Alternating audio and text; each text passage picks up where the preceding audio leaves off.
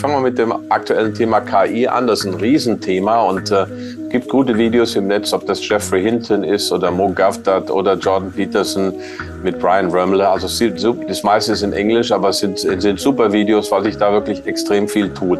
Und mit der KI ist es eigentlich wie mit allen Moden.